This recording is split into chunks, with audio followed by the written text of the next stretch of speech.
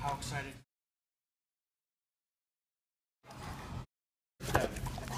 That's a, you could probably.